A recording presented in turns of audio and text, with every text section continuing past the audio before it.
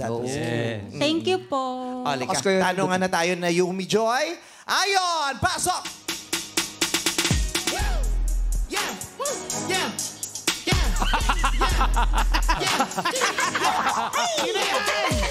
Sandali, sandali! Sino Ba't ang- yan? Ba't ang dito si Prince- Prinsipe? Kay? Si Ayon hindi pa nahihinog na bulok na.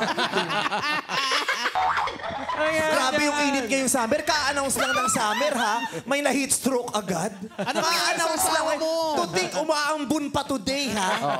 Grabe. Fred, eto talaga si Nayumi. Ito si Marumi. Ano nangyari sa asawa mo, ate? Ay, ma. Ha? Ano nangyari sa asawa Ano mo? ka ba? Hindi lang namin nasasabi sa'yo. Naghiwalay kami five months na. Ayan, di ba? Na-depress. Di ba? Nanga, nangarag. Five months ago. Di lang namin sinasabi. Hiwalay kami five months ago. Hindi tayo naghiwalay. pure work na lang ginagawa namin rito. Hindi tayo naghiwalay. Kaya sa nanay ko, patawarin mo ako. Isa to sa mga maling desisyon ko sa buhay. Pogi kayo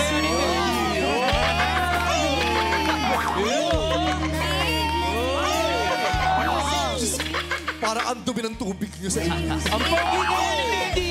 Pogi ba? Kiss mo sa lips? Ayoko, ayoko. Eh, Ayoko. bakit si JC niyayakap mo? Ayoko, ayoko. Yakapin mo nga yan. Magkaiba sila ng pogi. Fred, dati Oy, huwag kayong masyado kumakaarte kayo. Okay na yan. Tandaan nyo, hindi kayo magiging tao kung hindi kayo dumaan sa unggoy. Tandaan.